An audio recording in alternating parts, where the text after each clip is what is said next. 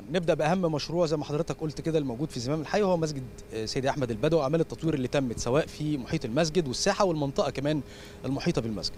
آه، والله إحنا يعني التطوير آه، الحمد لله يعني آه، توجيهات سيادة الرئيس دايما إن إحنا كل نطاق البلد مع الوزير محافظ آه، من أول دقيقة في آه، يعني دعم مستمر وبدأنا نشتغل.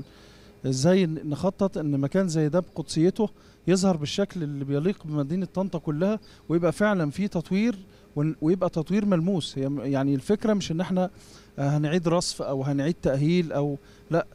فكرة إزاي نحافظ على الهوية البصرية كمان بتاع المكان نفسه. الحمد لله كان في توفيق كبير في الموضوع ده. زي ما سيادتك شايف يعني اتعمل ممشى آه، الشوارع اتعملت بازلت بحيث ان إحنا نحافظ على يعني نفس ال- الريتم بتاع المكان والهوية بتاعته نحافظ عليها. حتى المردود بتاع الناس واجهات المحلات كلها آه، آه، نفس الواجهات تعميم حتى واجهات المحلات والدهانات والكلام ده. كل الحاجات دي بتديك طابع في النهاية ان المكان ليه يعني آه، رونقه الخاص بيه. وكمان بتساعد إن الناس بتبقى متفاعلة معاك إن هي إزاي تحافظ على الجمال اللي يعني الشكل اللي هم وصلوا له إزاي يساعدوكم إن هم يحافظوا عليه. الناس هنا اتبسطت بالتطوير اللي حصل؟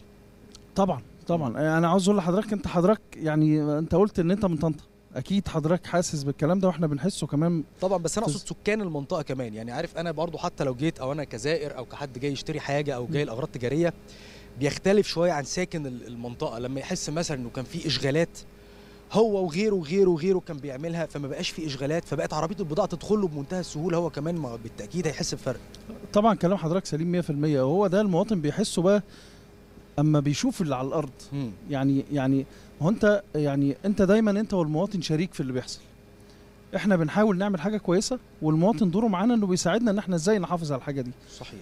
إزاي التزامه معانا إزاي هو بيوعي معانا الناس ان إحنا دي حاجة جميلة كلنا بنحافظ عليها في بلدنا. آه، شاف حد بيعمل أنا عاوز أقول لك ان الناس بتتفاعل معانا هنا لو شاف حد مثلا بيضر في حاجة أو بتاع هو بيروح يحذره قبلنا. عشان حاجته. فاه. لا وعشان هو خلاص وصل عنده مفهوم قبل كده كان إيه ودلوقتي إيه. صح ولزياده شعور الانتماء كمان هو بيحس إن المنطقة دي بتاعته وتم تطويرها عشانه فبالتالي لو شاف أي تجاوز يعني بيسرع في الإبلاغ.